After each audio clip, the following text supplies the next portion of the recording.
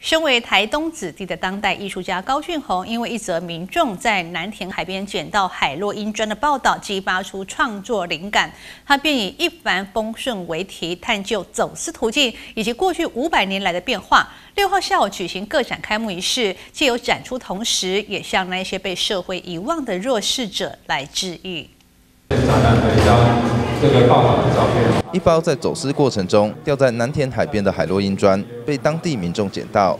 这则新闻一报道出来，便引发了当代艺术家高俊宏的创作灵感，以包装袋上印有一帆风顺这四个字当做展览主题，透过影片以及艺术创作，展现出进水营古道以及海上运毒路线，探究过去五百年的岁月，它背后黑暗的故事。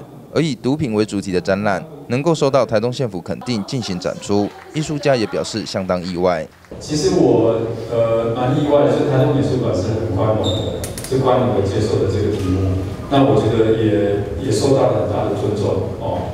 那我就想说，从这个角度来进行一个创作哦，其实是间接在讲一个台东跟外面的一个连接哦。当然这个连接当然是一个比较比较黑暗的部分。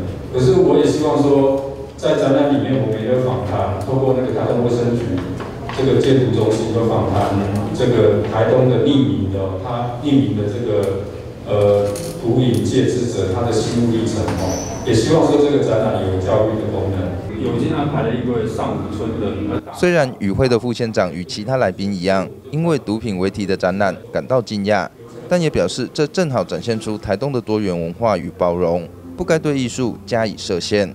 我之前看看的内容啊，我有点吓人了，因为觉得说，其实我理解的一般的艺术不大一样。但是我觉得，其实艺术在现在已经有各种不同的模式在展现。台东是一个非常具有包容性的哈。我们呢有那个在地的一些艺术家所做的一些装置艺术，也有大到像云门舞集在稻田的表现。那我觉得这都是台东。的一种包容，那艺术它本来就是通过各种媒介来展出。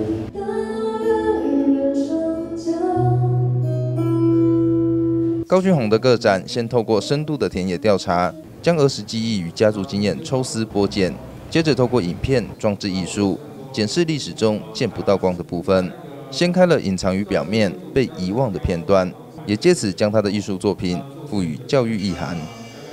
记者齐伦。台中市报道。